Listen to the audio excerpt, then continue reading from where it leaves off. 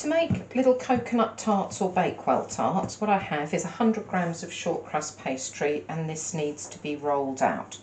So as usual with short crust pastry, I'm just rolling once away from me and turning the pastry round each time that I roll to make sure that my pastry is not sticking.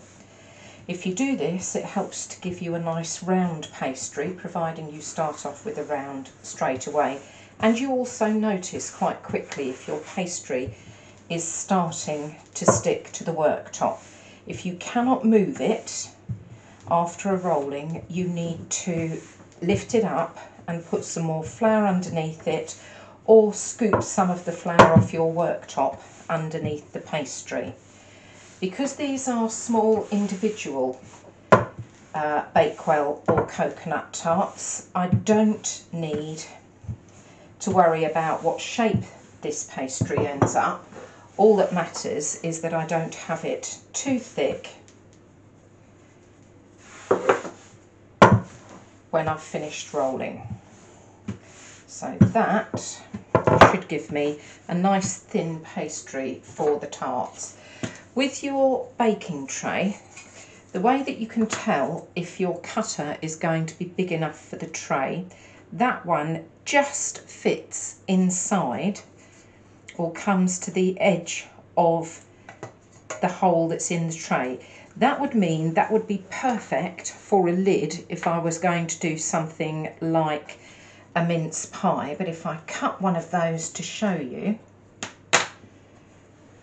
if I put that into the tin, it's actually a little bit small.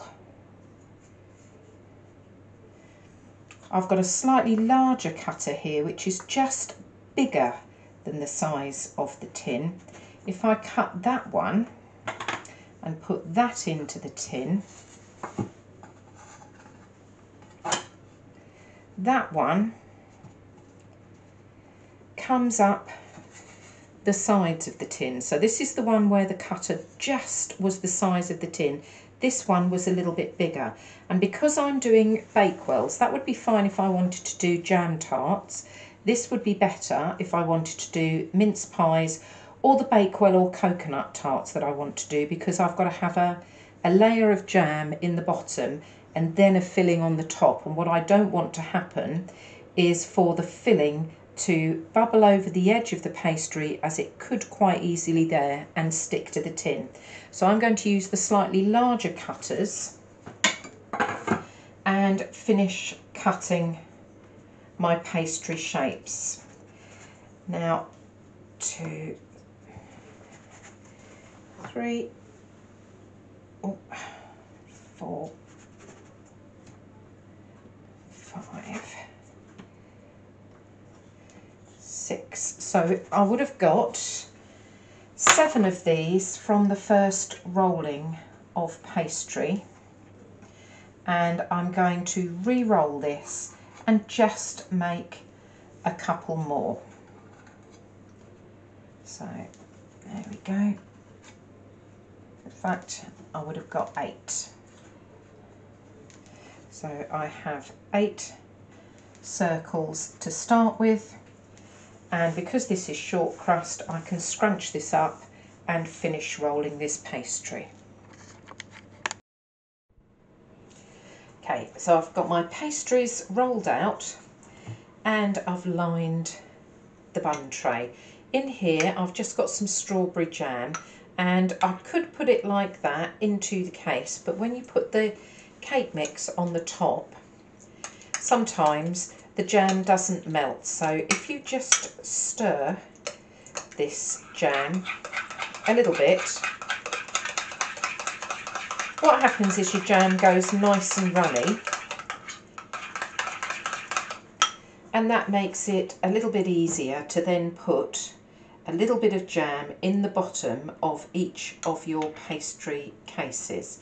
So just a little bit of jam. You only need at most a teaspoonful. If you put too much in, it becomes quite difficult to seal the edge and stop the jam from bubbling up the side of your cake mixture. So just about half a teaspoonful of jam in each cake case and that's the very small one there that I did.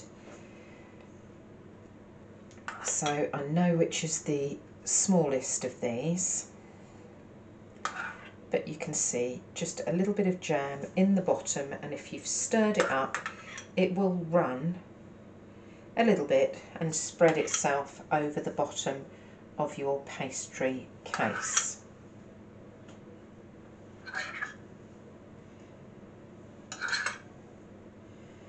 And to make the cake topping for the little mini bakewells, what I have is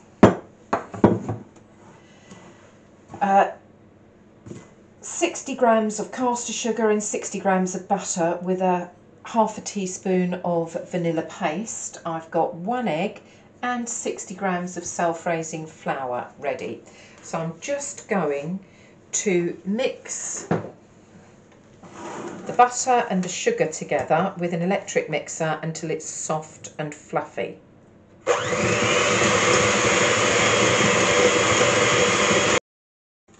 Okay, having creamed the butter and sugar together and mixed that well and got some air in, I'm just going to add one egg to my bowl and I'm going to use the electric mixer again to whisk this through until the mixture is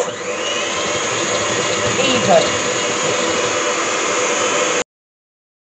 Okay, I've started mixing in my egg, but I can see in the bowl that I have butter and sugar around the outside that has not been incorporated into the egg. It's got no egg in it and at the moment it looks a little bit lumpy. So I've just used a spatula to go around the outside of the bowl and now I'm going to mix again.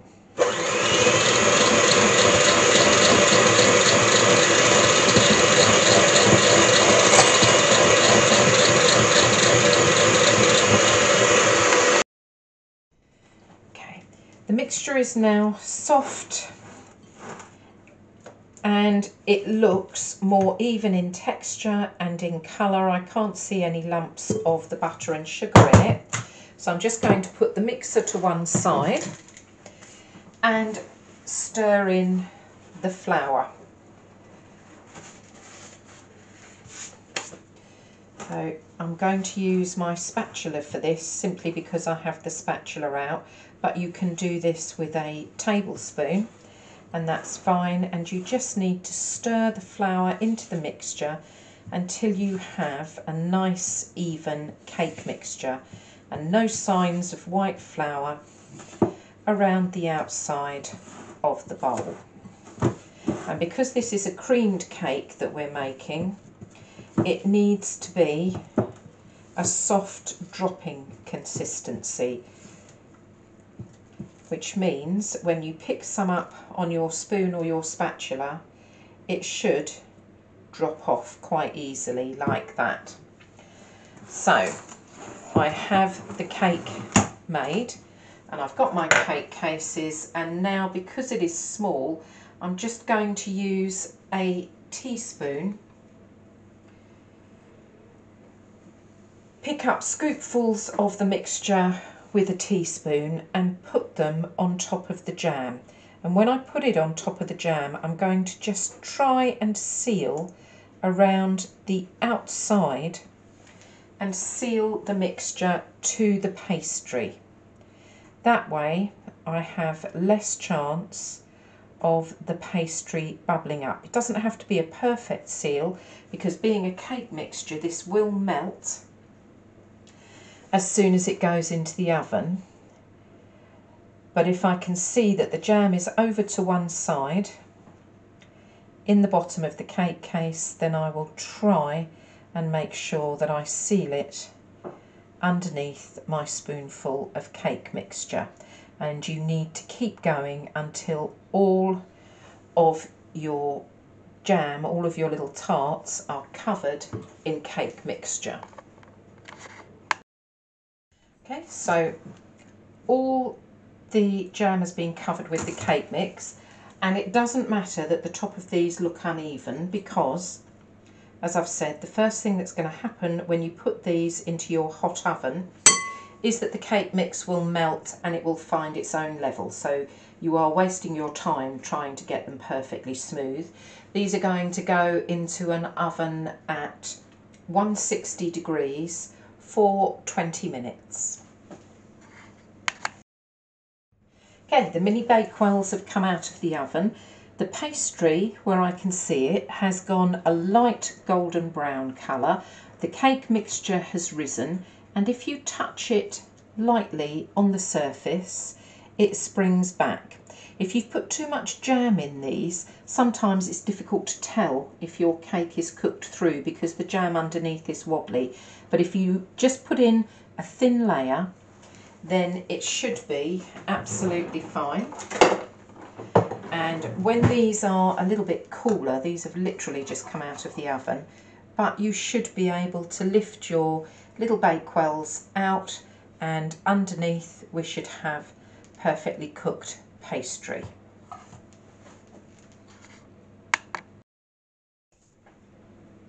Okay, one of the last things that I meant to say about these um, was, there we go, this is the smaller one where I did the smaller cake case, smaller pastry case and you can see the cake mixture has bubbled up over the top of that whereas the slightly larger pastry case you can actually see a little bit of the pastry all the way around the cake mix which is what you would like with the bakewell.